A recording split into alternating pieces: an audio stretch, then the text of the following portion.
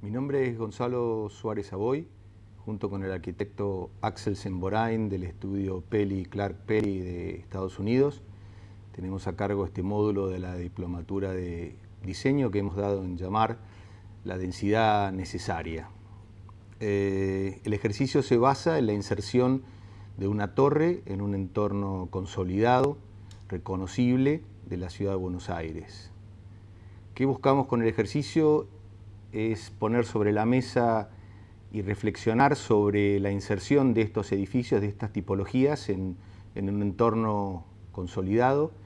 y cómo este entorno, con sus características propias, afecta a la torre y la torre a su vez, con las suyas,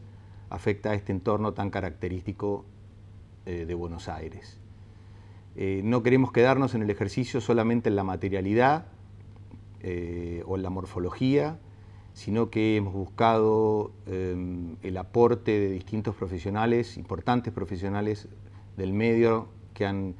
realizado muchos proyectos de estas características para que nos aporten su conocimiento y nos ayuden a entender las características intrínsecas de la, de la torre, de tal manera que el ejercicio vaya de la inserción de, este, de esta tipología en el, nuevo entorno,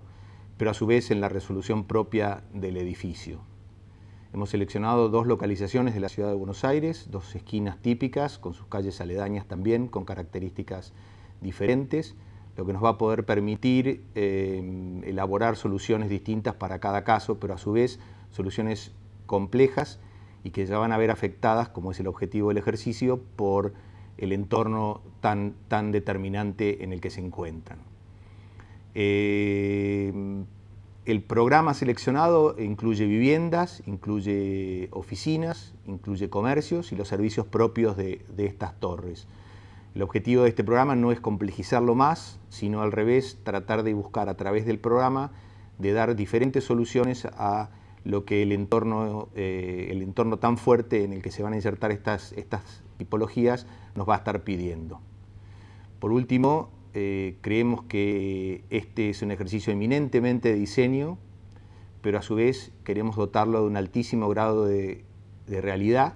y que nos permita reflexionar sobre el impacto que tienen estas eh, tipologías en entornos tan caracterizados de la ciudad de Buenos Aires.